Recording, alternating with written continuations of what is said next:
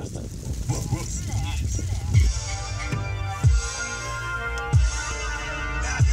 yo, you niggas, you got your fucking mind. Yo.